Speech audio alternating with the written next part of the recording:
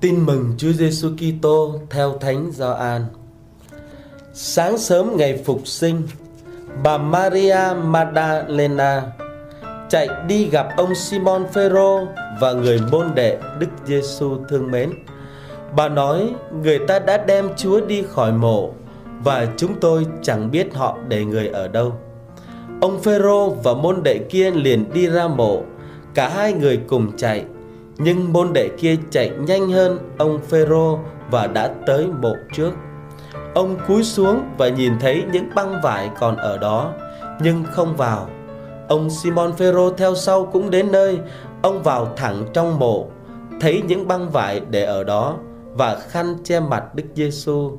Khăn này không để lẫn với các dây băng, nhưng cuộn lại, xếp riêng ra một nơi. Bấy giờ người môn đệ kia Kẻ đã tới mổ trước cũng đi vào Ông đã thấy và đã tin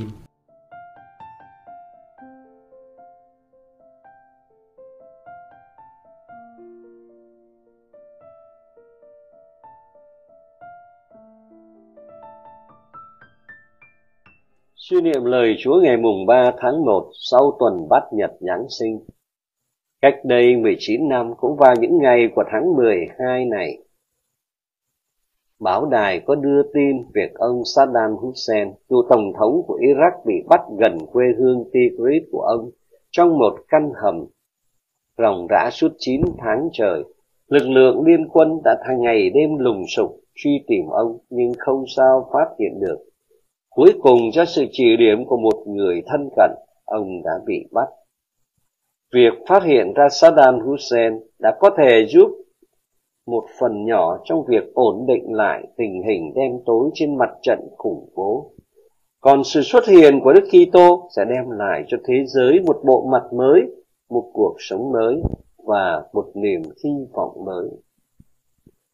Thánh Gioan trong thư thứ nhất đã viết, các con biết rằng người đã xuất hiện để hủy diệt tội lỗi chúng ta.